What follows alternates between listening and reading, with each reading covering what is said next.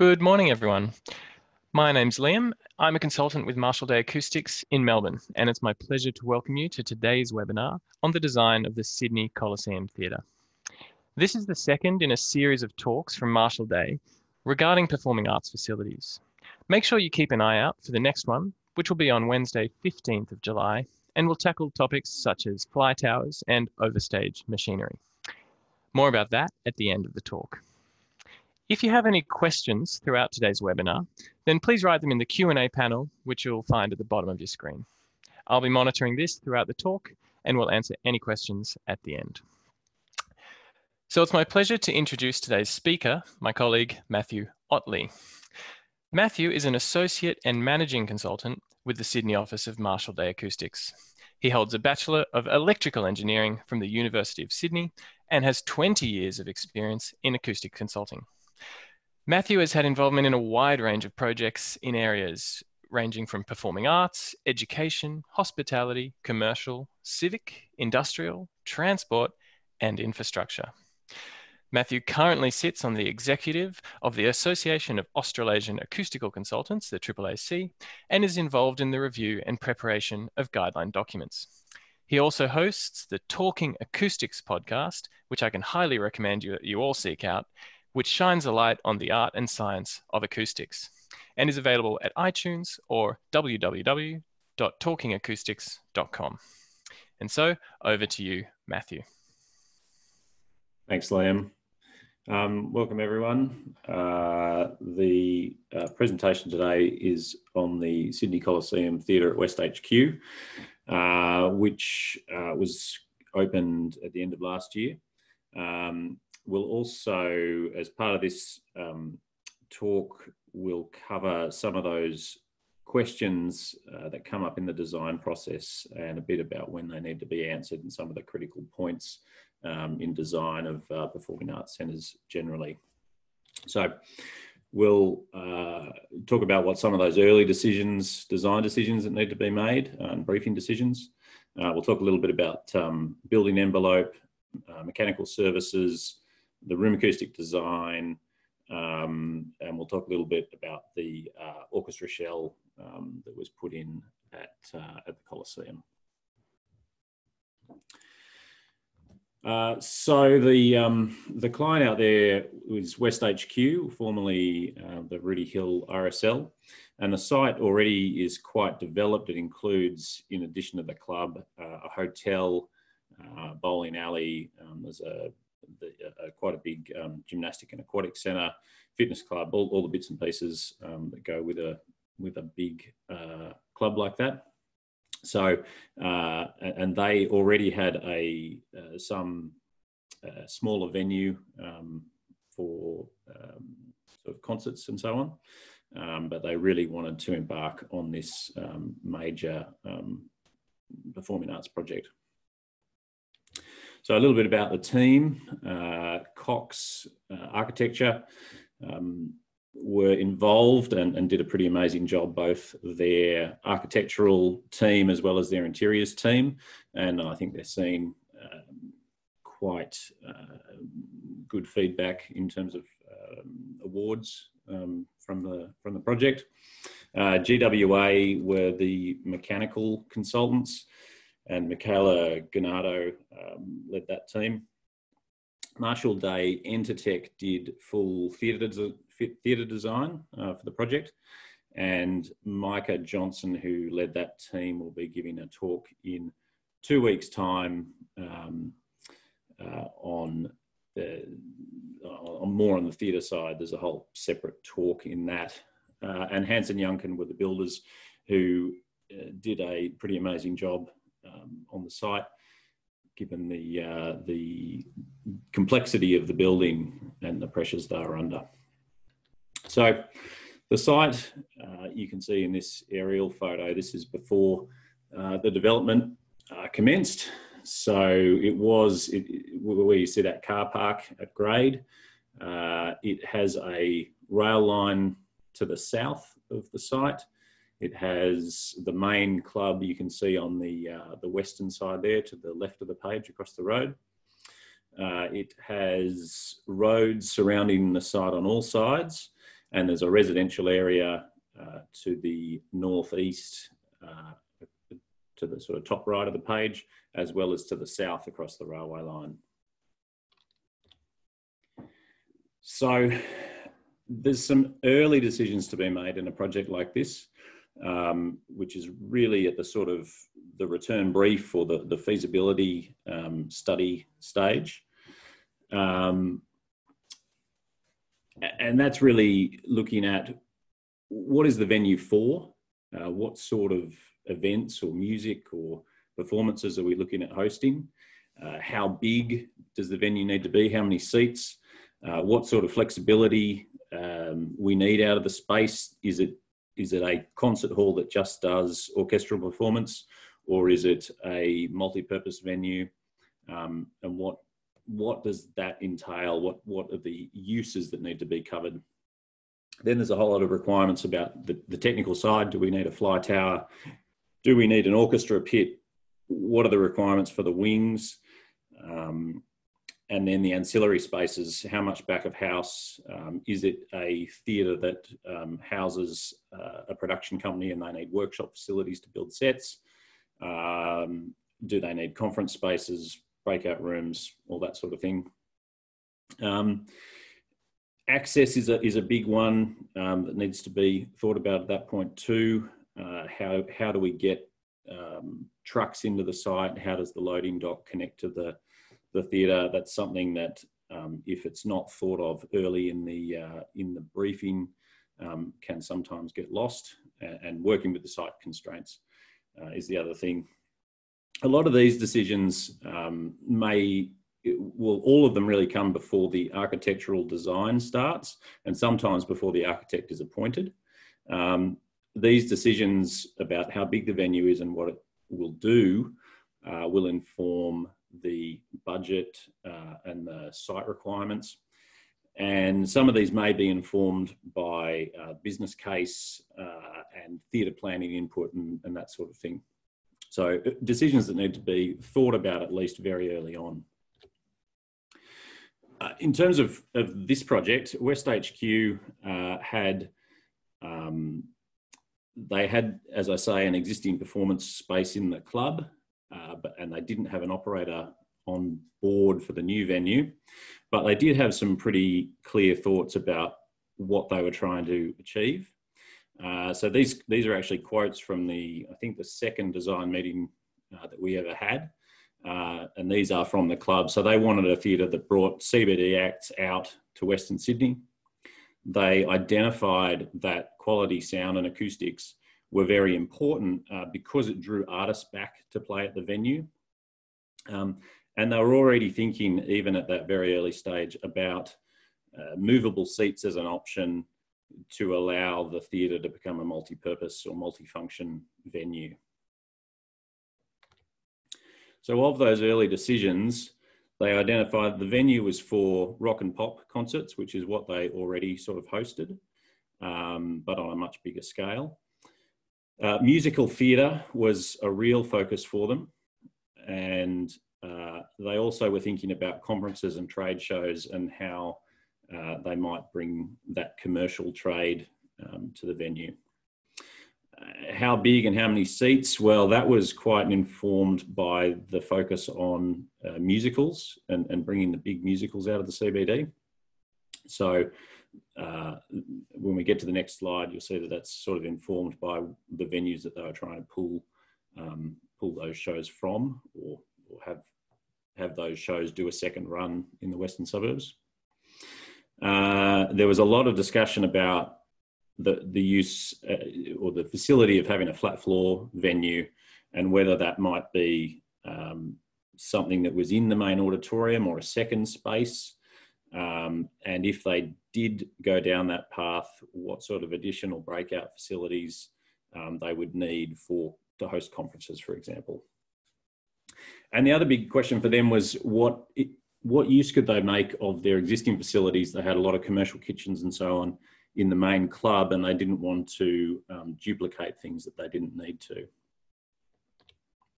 So, as I said, a lot of the focus was on bringing the large scale musicals out of the CBD and that was really either from the Sydney Lyric or from the Capitol Theatre. The Lyric has a capacity a couple of seats shy of 2,000 and the Capitol's just shy of 2,100. So it was very quickly identified that, that 2,000 was the, the magic number um, and that obviously informs a lot about the, the size and the, um, uh, the capacity of the venue. So the next question then was knowing that we need to fit that many seats in, what would the shape of the room be? So there were a number of options worked through um, with the architect and with the uh, theatre consultant um, to try and identify what was going to be the best option. Uh, this was option one that was looked at. It's a shoebox uh, shaped theatre that just just a rectangular room basically. Um, you'll see the orchestra pit is shown in red, the retractable seating area in green. Um, to get the capacity with a shoebox uh, shape room, uh, you end up with a very wide, um, a wide theatre, uh, which is not so great for acoustics. And the other problem is that, that that width makes it much wider than the proscenium. And so the proscenium uh, being this uh, uh, stage opening here, these uh, side, uh, the, the, the, side over here basically blocks the reflections that we want to get off the side walls. And those lateral reflect, reflections, which are the reflections that come to our ears from the side, are very important uh, in giving us a quality acoustic. So this would have been the section in option one, um, three tiers, quite tall, quite steep seating rakes, um, something like this. Uh, we then looked at option two, which was a coffin shaped um, uh, two tier uh, theatre, potentially a wider fan, um, which gives less of those lateral reflections um, to the front section of the stalls. Um, we with the coffin shape, you get um, some of those stronger lateral reflections though to the rear uh, section of the seating. Um, so that was something that we did like. Um, we're now back to, to two tiers, which uh, is I think is a bit more comfortable for the the venue.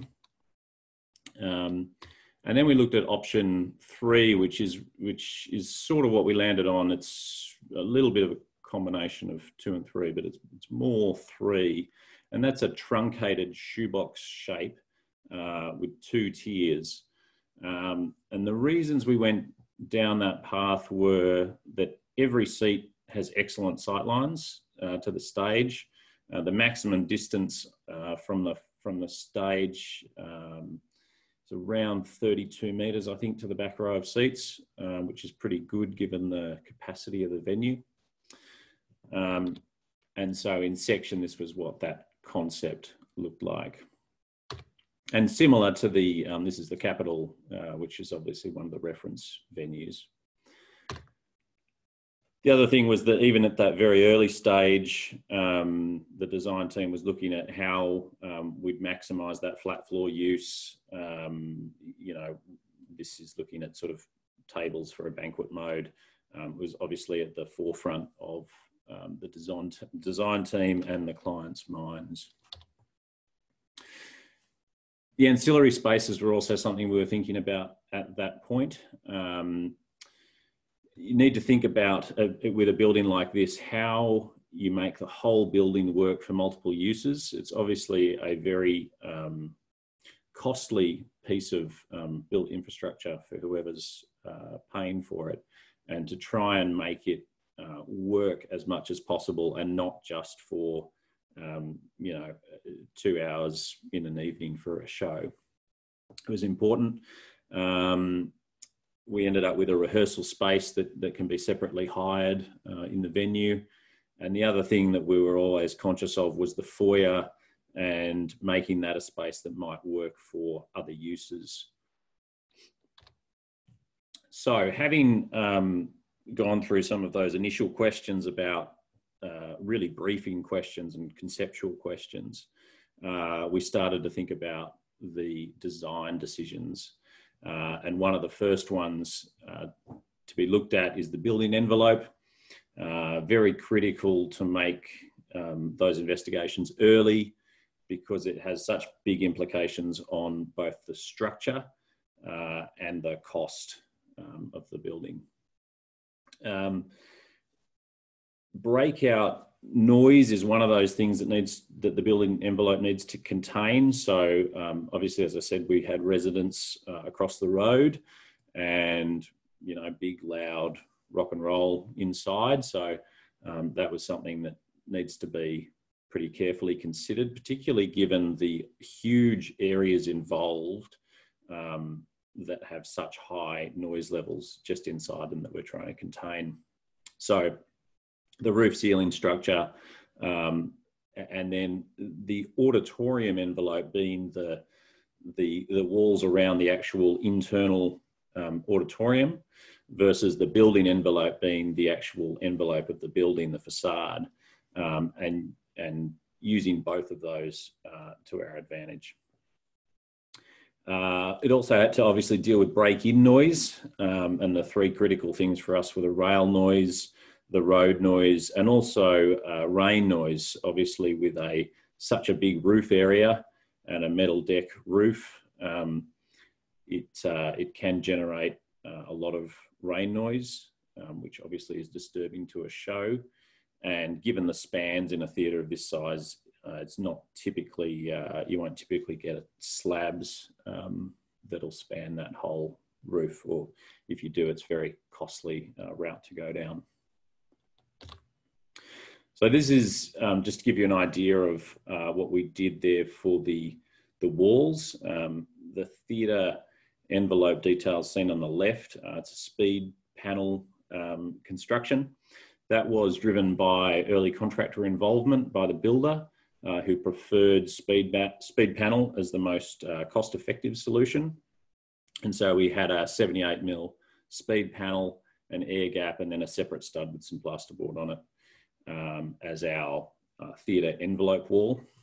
And um, just going back to that idea of theatre envelope versus building envelope, um, the uh, there's different levels of isolation required between the theatre and what's going on in the foyer, and then the theatre to external noise in terms of uh, breakout noise and also um, road and rail noise. And so balancing the performance of those two um, lines of defence uh, is important, um, both to get the result that you're after, but also to keep the cost um, at, a, at a minimum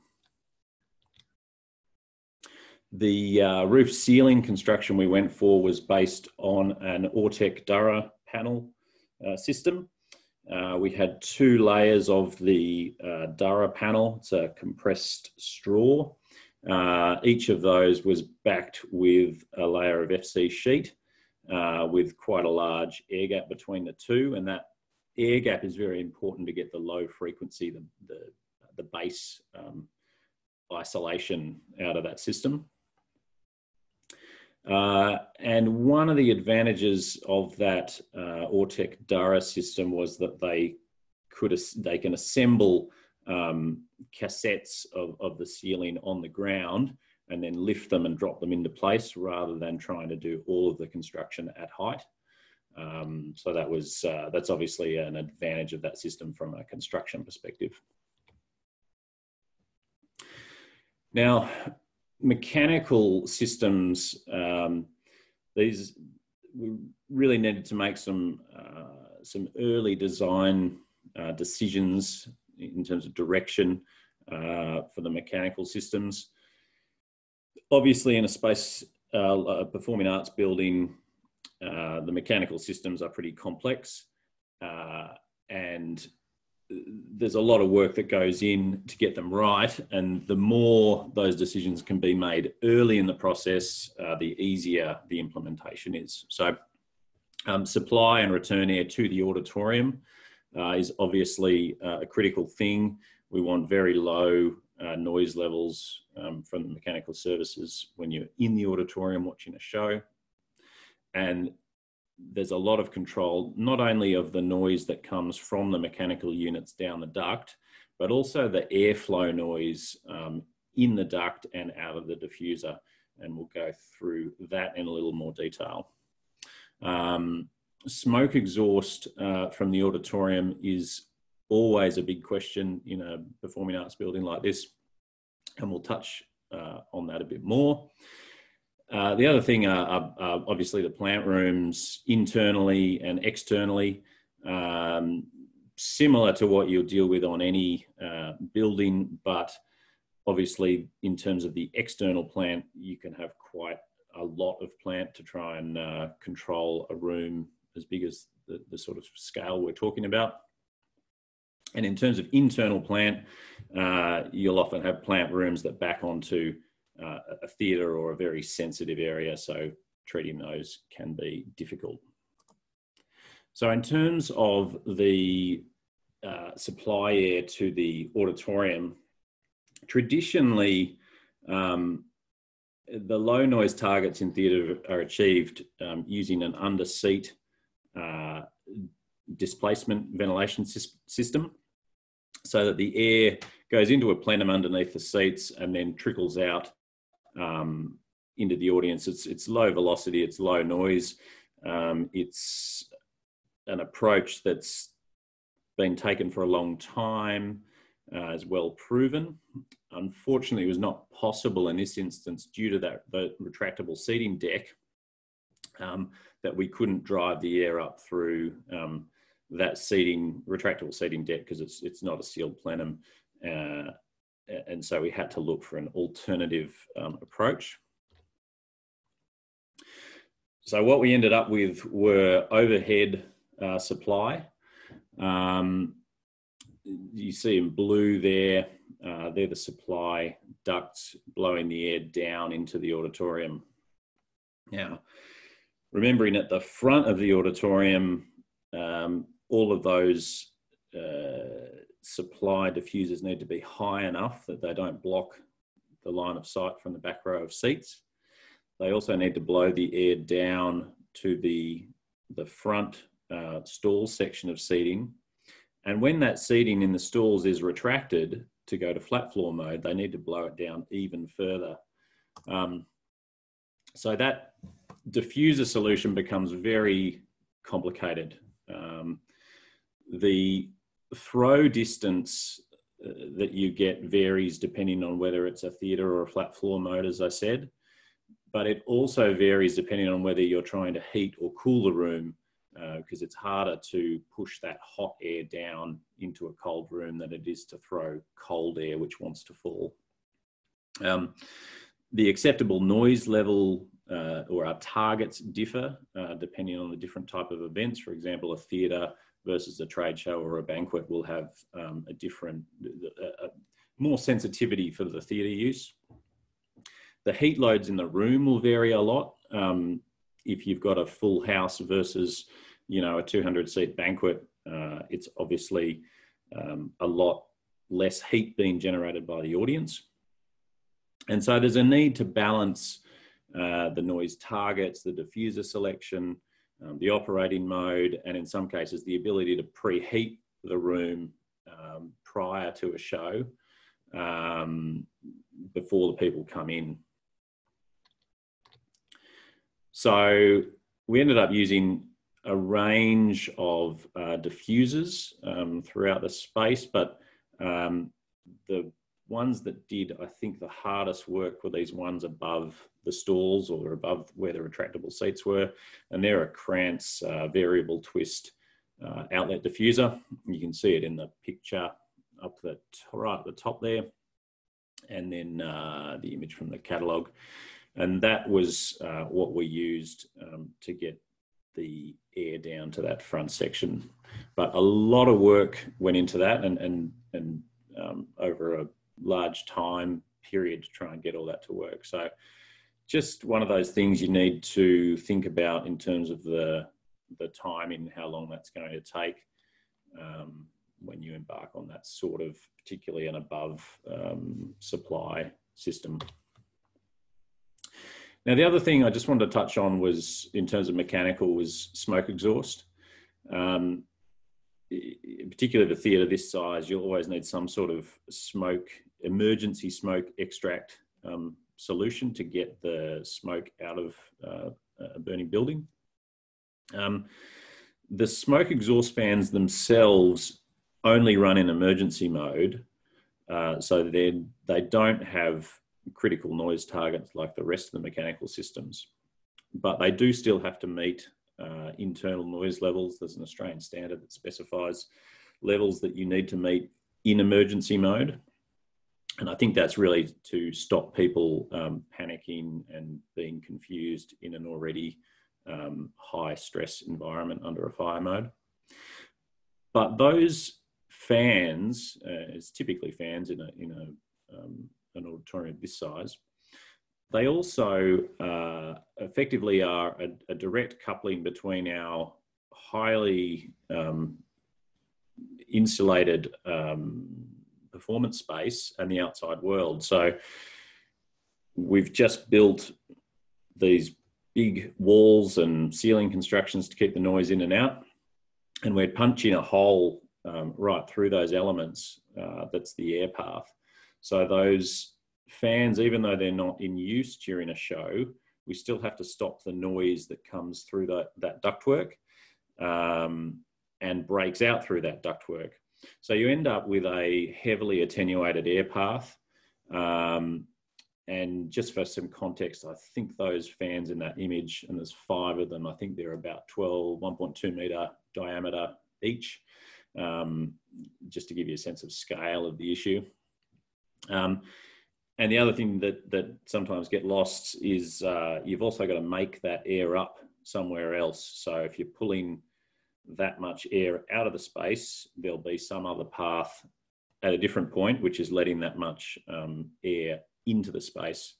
Um, and I won't go into the details of that in this talk, but uh, something to consider in this sort of project. So uh, moving on to the room acoustics and some of the early design decisions that need to be made there. Um, in this venue, there were clearly identified that the multiple uses, um, being a show theatre with tiered seating uh, for musicals, um, musical performance venue with a flat floor, mostly for rock and pop shows, and then a flat floor banquet mode um, it's in, interesting to note here that, that symphonic music uh, was not identified as a, as a significant or, um, or really a, a, use that they envisaged uh, was coming.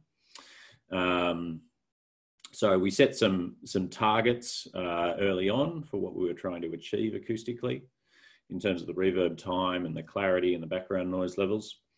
Um, the room was designed for natural acoustics, so unamplified as well as amplified, but uh, with, with the primary focus being on amplified shows. So it's a smaller volume overall, the room size is smaller, and with a shorter reverb time than you would find in, for example, a concert hall that was a, a dedicated to um, orchestral or symphonic music. So a, a design biased towards um, the amplified use of the space primarily. Um, this is just looking at some of the uh, early surface finishes um, that we looked at to, to, communicate to the architects about what we were trying to achieve. Um, the seats in an auditorium are the most acoustically absorptive elements in the room. Um, we tend to try and get a seat that is about as absorptive acoustically as uh, when a person's sitting in it as to when it's unoccupied so that if the venue is um, half full it doesn't sound radically different because we're losing the absorption of the of the half of the crowd that's not there. Now given that the seats are the most absorptive element, where we've got a retractable uh, seating section, that means that a significant amount of uh, acoustic absorption is lost when those seats are retracted. So you'll note in this, uh, this image that triangular uh, section uh, on the side walls is shown absorptive as opposed to the sort of golden yellow uh, section that's that's not absorptive, and that that little per, um, purple or blue triangle um, is there so that when those seats are retracted, um, that part of the wall becomes exposed. It's hidden when the seats are out. And that absorptive wall treatment adds back in some of the absorption that we lose when the seats are retracted. Uh, you'll also see there's a note there, the, there's a curtain that comes down over the retracted seats, again, to add in some more absorption. Um, in the rest of the space, we have some absorption on the stage, um, just so the stage house isn't too, uh, too reverberant. Uh, we have some absorptive treatment on the rear walls um, to stop the uh, potential late reflections that might go from the stage all the way to the back of the room and then come back at quite a delay to the stage. And you can also see there, uh, we'd specified a series of acoustic banners along the side walls. Um, there's another image of those there looking from the back of the auditorium down towards the stage. It's about 150 square metres uh, of Jan's motorised um, double layer cloth banners. And the idea there is that um, they can be retracted for um, uh, shows like um, symphonic music, for example, where we want as much reverberation in the space as possible. And uh, brought down to, inc to, to, increase the amount of absorption in the room and reduce the rever reverberation time for uh, rock and pop shows, for example. Now, it was a constantly evolving design. Uh, the venue management team were appointed about a year before the opening of the venue.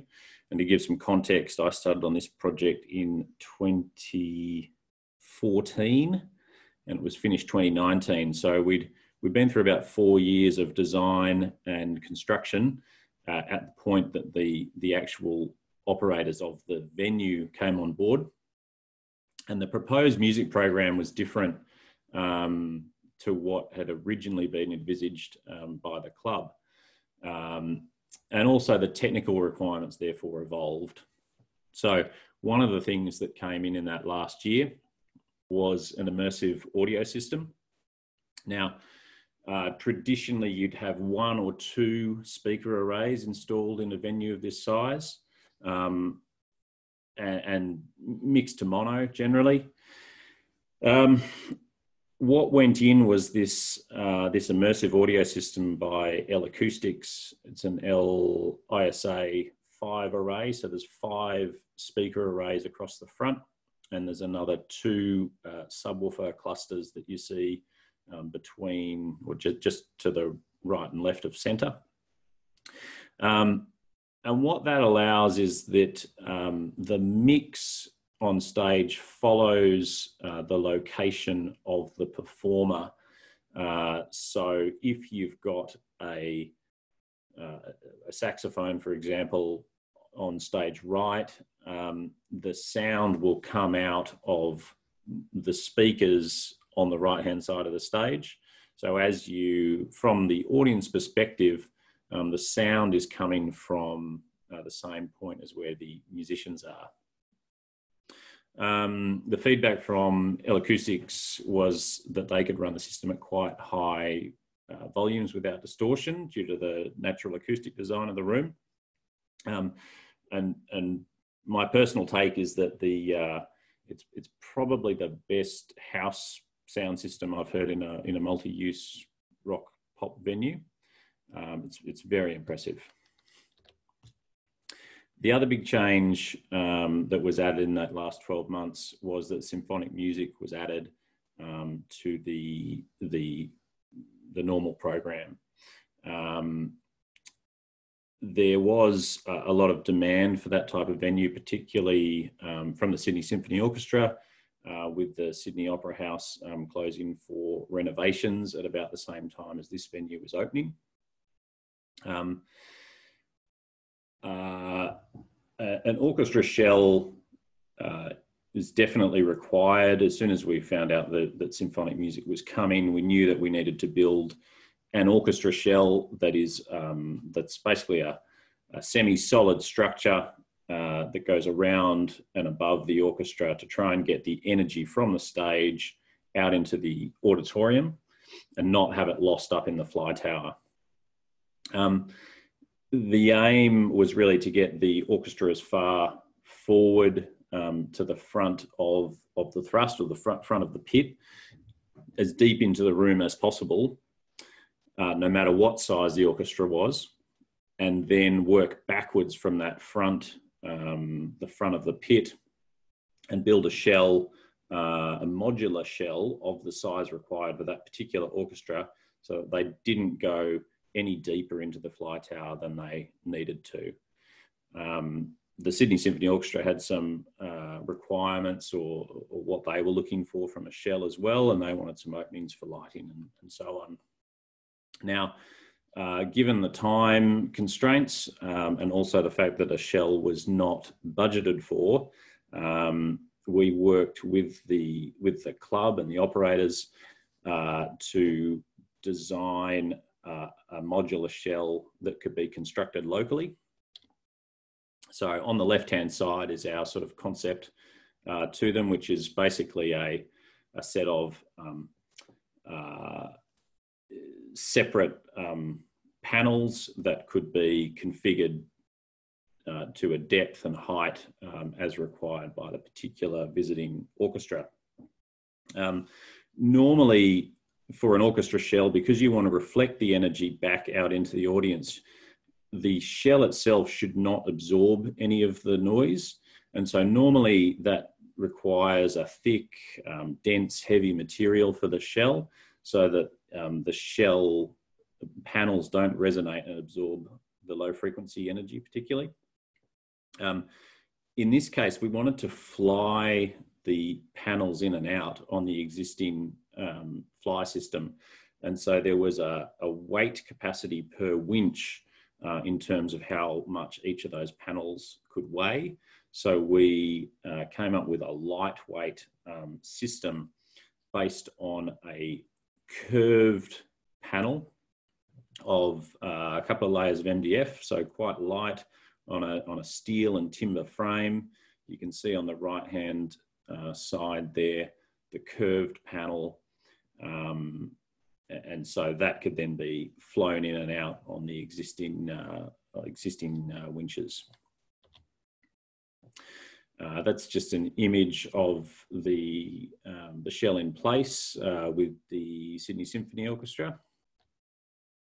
Another image there, uh, and it it really turned out very well um, and uh, was done on a very tight time frame and a limited budget and um, uh, I was very impressed what they uh, they managed to do. Uh, just in terms of the um, technical results, um, some of the reverberation times there uh, and the clarity. Um, so we achieved basically what we're looking for in terms of the um, acoustic metrics. Um, for the uh, acoustic consultants in the audience, that's the uh, the spectrum uh, of the reverb time uh, with and without the banners deployed. So you can see that the acoustic banners, when they're down, um, reduce that uh, the reverberation levels in the, particularly in the mid frequencies uh, by about sort of 0.15 or 0.2 seconds. Um, in terms of the uh, the subjective outcomes, uh, we had Emma Dunch, who's the CEO of the Sydney Symphony, I said we're thrilled uh, to have such a stunning kickoff to our Sydney Coliseum Theatre Showcase Series with the Rite of Spring being performed by the full orchestra to last night's packed house. We're very proud of our new venue partnership and to be playing in this amazing new piece of arts infrastructure and thank West HQ for their commitment to the arts and for their support of our goal to further develop the um, Sydney Symphony's audience in Greater Western Sydney.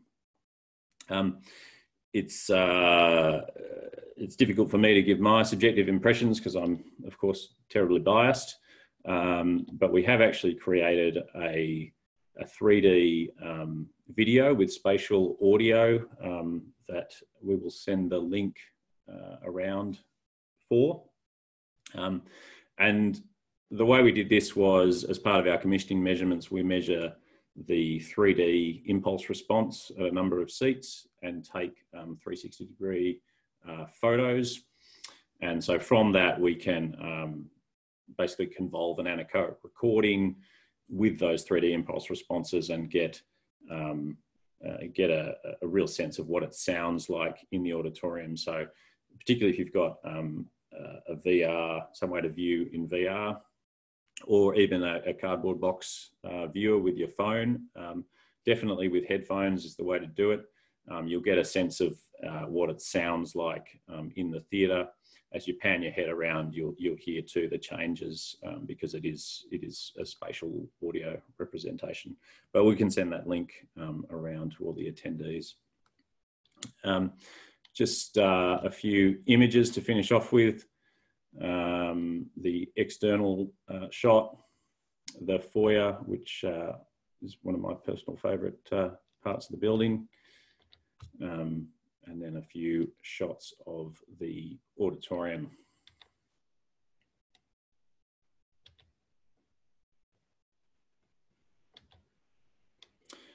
So that about wraps it up for me. And as I said, we'll, uh, send that link around, um, but I'm sure you can also find the uh, that 360 video on YouTube. So I'll hand back to you, Liam. Thanks for that, Matt. Um, I'll remind everyone now to put any questions you may have at the bottom in the Q&A panel. Um, we have had one or two that have come through. Just before we get to those, I'll um, remind you all that we do have that other webinar in two weeks' time on Wednesday, 15th of July, which will be given by Micah Johnson, who heads the Marshall Day Entertech who Matt said is our theatre consultant division. And that one will be discussing issues such as fly towers and overstage machinery. So keep an eye out for an invitation to that one. So Matthew, um, a question that's come through is can you speak more about the C80 target? In particular, um, was that a broadband uh, target? And also, what was the difference with regards to the C80 for an acoustic source on stage or loudspeaker array sources? Um, was there a difference in those or um, yeah, can you put any discussion towards that? Uh, yeah, the the, um, the C80 target was a mid-frequency target, um, so the 501k, um, and the uh, oh, that the uh, between the that that was for um, the acoustic response of the room rather than via the sound system. And which modeling software was used to model the C80 um, results prior to obviously the measurements? Uh, uh, yeah, Odeon. So we used Odeon for all the um, room acoustic uh, modeling. And was there good, accurate um, were the results fairly accurate in comparison to the yes yeah yeah yeah. Um odeon's uh, odeon's quite accurate. Um particularly if you sort of know like any tool um you've got to sort of know the the quirks of it. Um but it did the the predicted results aligned very well with with what we measured. Um uh, although they did change the seat selection um, partway through uh, the design process, so we had to update those um, uh, the models. Um, but but once they were updated, they uh, they aligned pretty well. Um, speaking of the seats, could you give a little more information as well towards the materials that were used for these seats and also for the banners? Uh, yeah, the uh, seats are a Jezet seat. Uh, they are European. I want to say Spanish, but I could have that wrong. But J E Z E T, um, and they're quite a comfortable seat. Um, uh, we are quite happy with them. They're probably not as, uh, in terms of the acoustics, they're probably not as absorptive as a traditional um, sort of full concert hall type seat. They're probably leaning a little bit more towards the. Um, not a stadium seat, but they're they're slightly less uh, plush than um, particularly in the arms, than uh, than a traditional theater Mhm. seat. Mhm. Um, but yeah, having having sat through quite a few shows on them now, I'm, I'm very happy with how comfortable they are.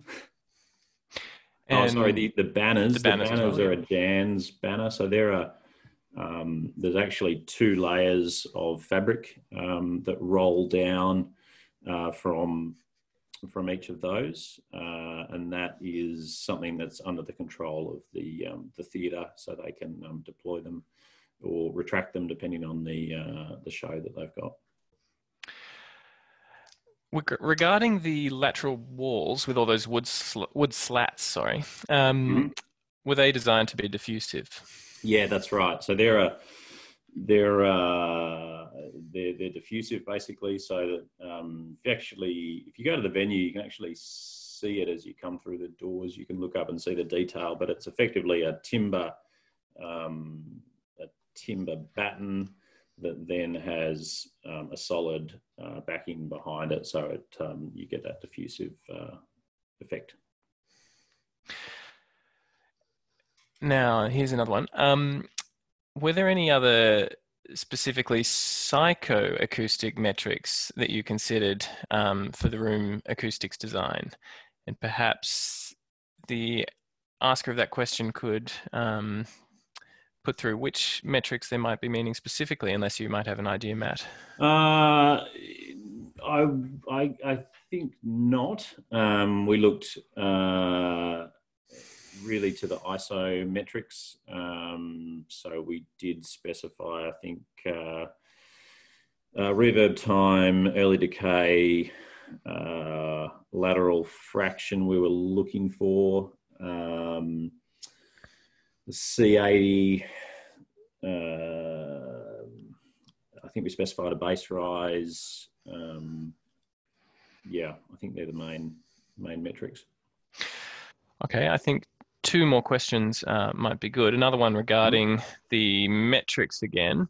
Um, what parameters, were there specific parameters used for modeling the orchestra reflectors um, as opposed to the actual whole auditorium itself?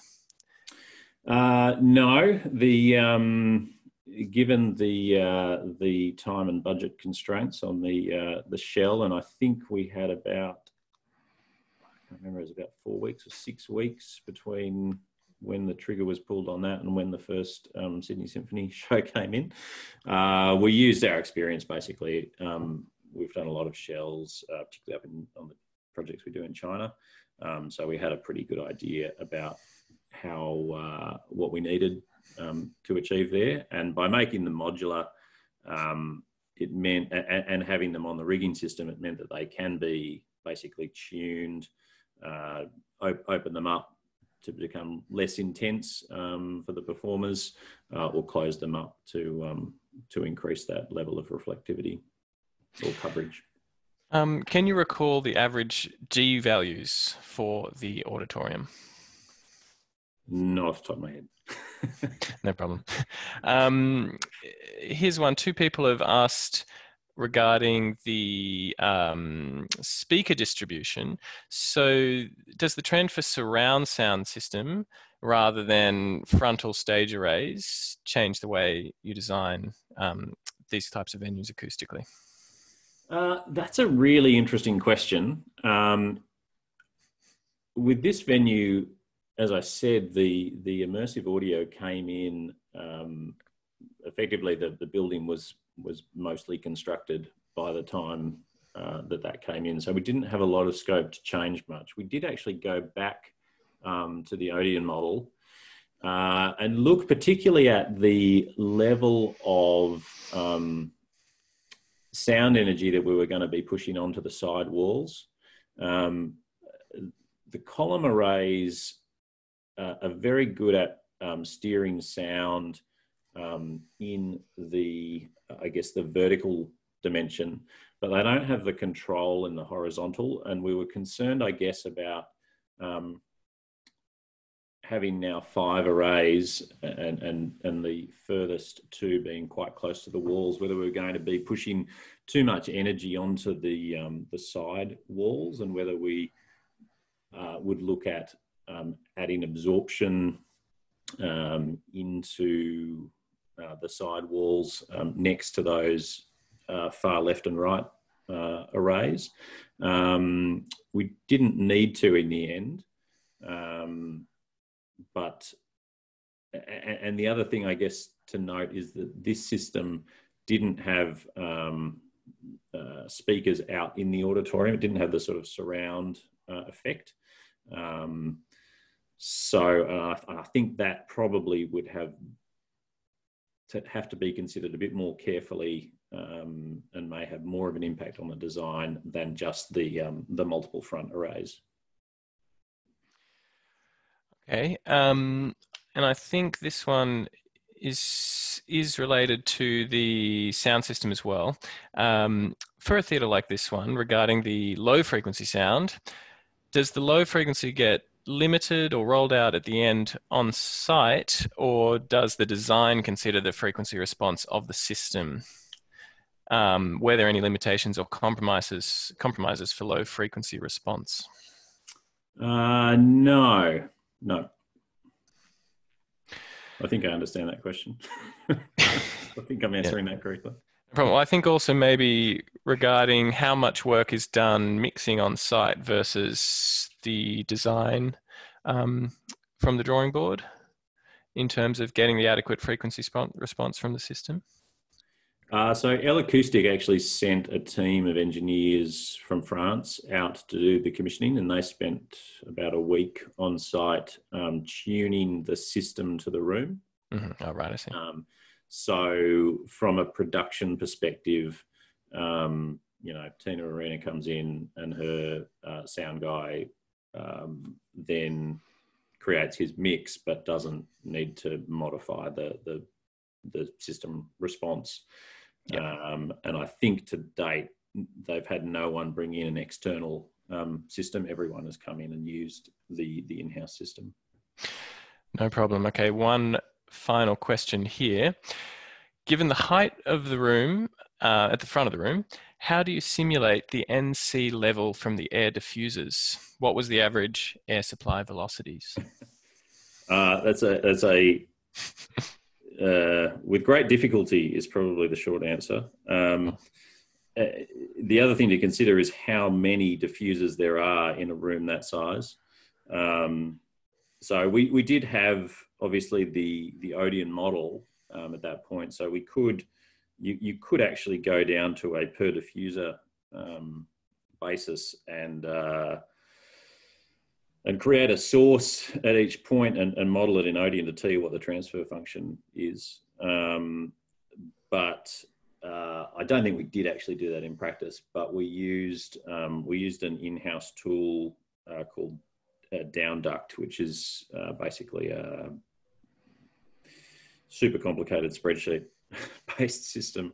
Um, but the, the most difficult bit is actually getting from the manufacturers uh, what those diffuser sound power levels are um, because you tend to be at the extremes of um, of the design for those diffusers. So um, it's whether they've actually they've actually tested down to the noise levels and the flow levels you're looking at.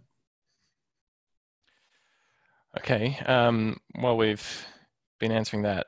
That I said was the final one, but I think we can squeeze in just uh, one more before 12. Uh, did you take into account the deep seat effect for low frequency control of the reverberation time, the reverberation curve? Uh, so I think he saw uh, the questioner saw that there was a gap in the low frequencies. Um, now, perhaps I'm not sure exactly what's meant by the deep seat effect here. Yeah, so I think he's talking about the roll off that the um, I mean, it's a it's a frequency dependent um, absorption that you get off the top of this the rows of seats. Um, we uh, we've a lot of that's going to be dependent on the the seats and the configuration. Um, so we had a set of seats uh, a seating bank tested in a lab. And so we had those results. Um, right. The other thing I'd say about that spectrum is that uh, I think the spectrum in the slideshow is, uh, from memory, it's just a, a, typical spectrum taken at a, uh, a point. Um, so uh, it, it's maybe not um, not actually indicative of the average across the room. If that makes sense. Thank you very much. Great. Well, I think um, we might just have to wrap it up there. Of course, if anyone has any further questions or comments, wishes to get in touch, all of our details are on the website. Um, thank you very much to you, Matthew. And um, did you have any closing remarks or anything that you wanted to say before we? Uh, no, that's fine. Thanks everyone for uh, coming, and I think we'll um, we'll send around that YouTube uh, link if uh, people are interested. And um. All right. Well, everyone, enjoy the rest of your day and hope to see you at the next webinar. See you later.